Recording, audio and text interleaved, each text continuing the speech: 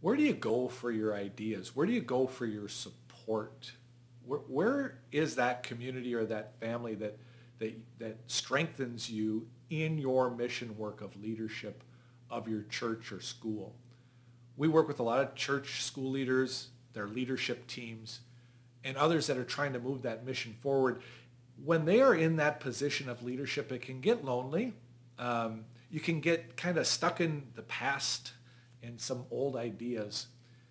And you're looking for a set of handles, some way to get a hold of this thing that is your organization and, and move it forward, right? Bring it up to be uh, the, the best version of itself that it was meant to be. And so it's in that that we've developed the sustainable growth system uh, for church and school leaders and leadership teams. And the program that we have has an ability for you to, to join a community uh, and we get together once a week and have some conversations. We, we have resources that are available for you even if you don't want to buy into a program. Uh, we'd like to, we put a lot of content out uh, on our websites and uh, we're speaking at conferences to just give you these handles and a, in a way to move forward. Uh, people that join or organizations that enroll in our program uh, we will help them over 39 months.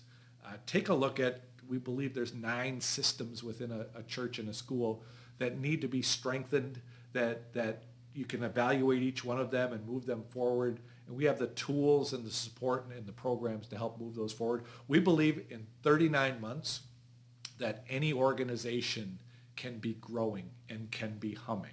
So if you're interested in hearing more about our sustainable growth program, uh, please ask.